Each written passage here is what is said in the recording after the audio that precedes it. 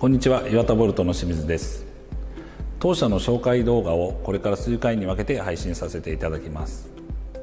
今日はその配信内容と、えー、私のいる、えー、こちら岩田ボルトの太工場こちらの紹介をさせていただきます。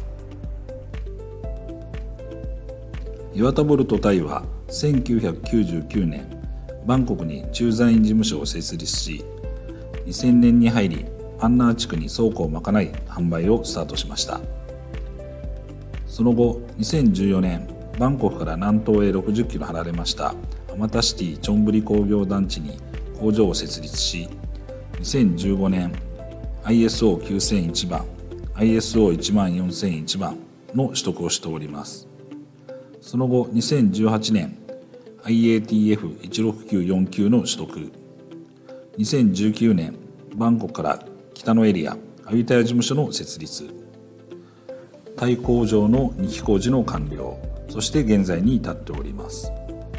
現在はタイ国内約200社のお客様と取引をさせていただきまた東南アジア各国への輸出販売を行っております。ぜひ当社タイ工場へお見積もりの引き合お待ちしております。これから、えー、今後の配信予定なんですが、えー、まずは、えー、ボルトの製造の工程、えー、その後は、えー、ボルトの検査品質への取り組みそしてオリジナル商品の紹介を動画で、えー、アップしていきます。ボルトの製造工程は大きく分けますと4つの工程になります。圧造転造熱処理表面処理その後画像計算も行っております。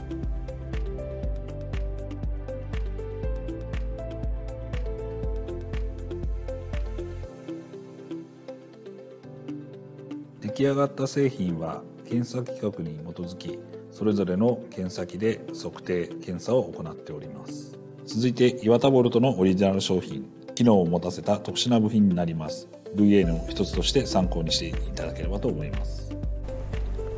最後に岩田ボルトはネジの勉強会を開催しております。こちらは各国各営業所で開催が可能となっております。お近くの窓口の営業所までご連絡お願いいたします。